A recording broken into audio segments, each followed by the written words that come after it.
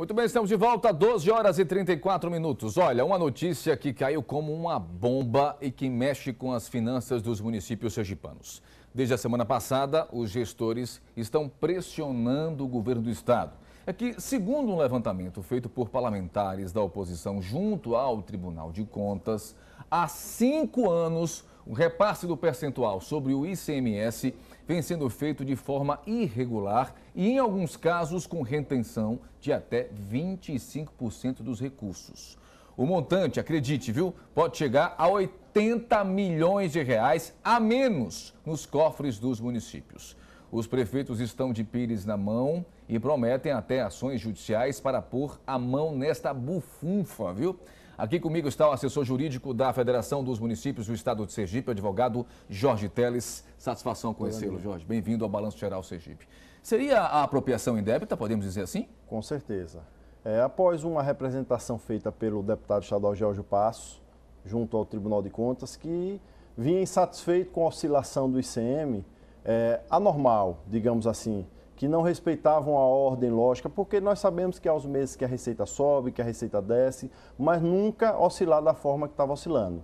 Feita essa, representação pelo deputado Jorge Passo, o Tribunal de Contas já apurou nominalmente apenas no ano de 2016 uma diferença de repasse de mais de 27 milhões é, que o governo do estado reteve e não repassou para os municípios sergipanos. E mais, somente no mês de janeiro de 2017 já foram mais 1 milhão 980 mil reais arrecadados e não repassados para os municípios. O senhor acredita em algo deliberado para isso? Eu não quero acreditar, mas que é um erro que vem é, reiteradas vezes acontecendo.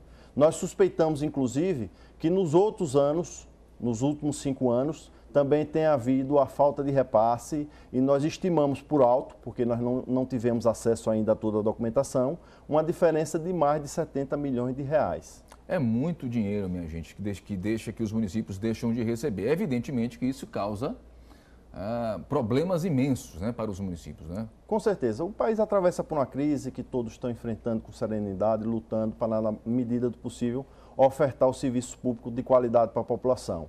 Quando você retira um montante desse de mais de 70 milhões dos municípios, você está atingindo a base da pirâmide, porque o município é o que realmente existe. O Estado é uma ficção, a União é ficção. O município é que oferta o serviço de educação, o serviço de saúde, é na porta da prefeitura e do prefeito que as pessoas batem para buscar o atendimento dos seus anseios. Então, você retirar um montante desse da base de quem realmente mantém a nação, você causa um prejuízo imenso. Além disso, você retira dinheiro essencial da saúde, porque 15% desse valor seria aplicado na saúde do município, e você retira dinheiro da educação, porque 25% desse recurso obrigatoriamente deveriam ter sido aplicados na educação.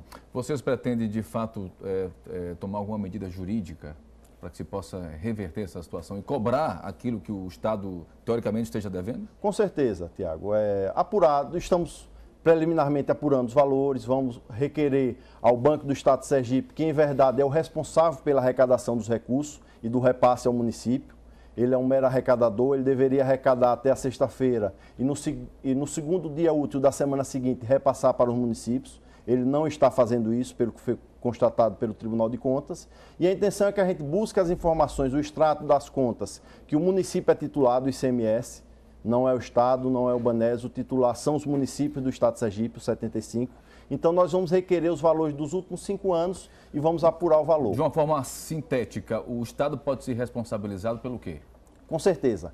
É, arrecadação e falta de repasse é um crime de responsabilidade. É, o governador está passível de afastamento, o Estado está passível de intervenção. Além disso, é crime contra o sistema financeiro nacional, já que um banco é, público está arrecadando dinheiro e não está repassando para os municípios. Nitroglicerina pura, isso vai dar ainda muito o que falar e nós vamos aguardar como é que o Estado vai se manifestar em relação a isso, que até agora eles não se manifestaram, né? É, eles já emitiram uma nota para a imprensa dizendo, reconhecendo que realmente existe a diferença de repasse, que já procurou solucionar no último repasse efetuado na semana passada, já teve um aumento significativo e inesperado após a, a manifestação dos municípios. Já reconheceu então? Já reconheceu que há diferença A gente só precisa discutir agora o montante e a responsabilidade por isso, já que as contas dos municípios ficaram achatadas e sobrecarregados pela falta desse repasse. Os prefeitos estão cantando aquela musiquinha, né? Quero meu dinheiro, pague, pague meu dinheiro, porque as cobranças são muitas e as administrações estão, muitas delas, engessadas,